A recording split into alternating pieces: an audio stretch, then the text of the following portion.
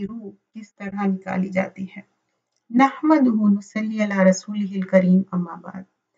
جو ایک believing sleeve ہے، چاہے مرد ہو یا عورت ہو، جب اینجل آف ڈیتھ آتے ڈیلیگیشن کے ساتھ آتے، اور ایسا چمکتا ہوا چہرہ جو مرنے والے کا، چاہے وہ عورت ہو یا مرد، اور جو شراؤڈ لے کے آتے خوشبو کے ساتھ، اور ان کو جیسے کہیں آنر جیسا کرتے، اس طرح آنر کرتے۔ اور ان کا جو سول ڈپارٹ ہوتا، جو روح نکلتی اتنی آسانی سے نکلتی، جیسے صورت النازیات میں بھی بتایا گیا، بالکل آسانی سے کوئی پتہ بھی نہیں چلتا۔ اور اس کے بعد جب روح نکل جاتی، ایسا دکھتا ہے کہ کہ کچھ معلوم ہی نہیں ہوا۔ کچھ لوگ اس دنیا میں بھی جیسے کہ سائنس چھوڑ کے جاتے۔ بہت آسانی سے، آپ کو پتہ بھی نہیں چلتا، آپ اطراف میں ہی رہتے، ان کی ڈیتھ ہو جاتی، وہ آنکھ بھی کلوز کرتے، منہ بھی اپنے خود سے کلوز کرتے۔ یہ تو ہم گمان کر سکتے، اللہ بہتر جانے۔ جو حدیثوں میں آتا ہے، اس میں یہی بتایا گیا انجل آف ڈیتھ اپنے ڈیلیگیشن کے ساتھ آتے اور اتنا آسانی سے ان کا سول نکل جاتا، جیسے کہ فلوئنگ آف واٹر ڈراپ کس طرح رہتا، اس طرح سے۔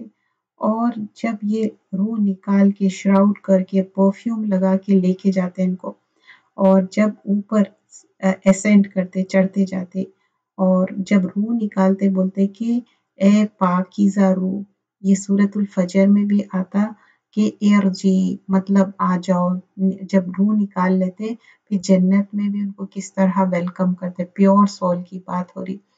اور پھر جب ان کو اچھے سے best of the best name سے پکارا جاتا، جو کہ دنیا میں ان کو جو اچھے ناموں سے پکارا جاتا تھا، وہ ناموں سے پکار کے ان کو آنر دے کے سو اینڈ سو ان جس کے، ان کے فلاں کے اولاد سو اینڈ سو کر کے ان کو لے کے جایا جاتا۔ اور پھر وہاں پر لویسٹ ہیون جہاں پر جاتے اور اوپن کیا جاتا دروازہ اور ہائیسٹ رینک ان کو دیا جاتا۔ پھر اس کے بعد اللہ سبحانہ اللہ تعالیٰ کی جو یہاں پر کیا پاکیزگی بیان کرے، اللہ سبحانہ اللہ تعالیٰ بولتے کہ ان کا جو ریکارڈ آف بک ہے بک آف ڈیڈز ہے، کیا ہے؟ الین میں رہے گا۔ صورت المتففین میں آتا کہ کون ہے الین الین کیا ہے؟ جو اللہ تعالیٰ جس کو پسند کرتے، مقرب فرشتے ہوں گے اور ان کے لیے نعمتوں والی جنت ہوگی اور اللہ تعالیٰ بولتے میں لوگوں کو مٹی سے بنایا اور یہ لوگوں کو مٹی میں ہی واپس جانا ہے۔ تو واپس مٹی میں آ جاتے۔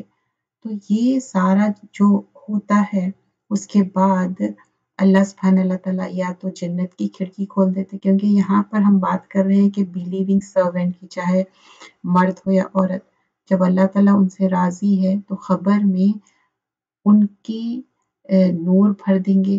اور جنت کی کھڑکی کھول دیں گے خبر کے عذاب سے بچائیں گے اور تا قیامت میں خبر میں آرام سے وہ لیٹے رہیں گے بغیر عذاب کے۔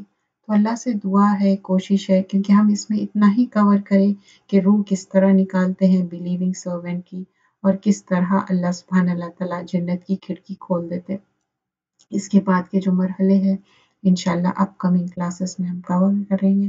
جزاک اللہ خیر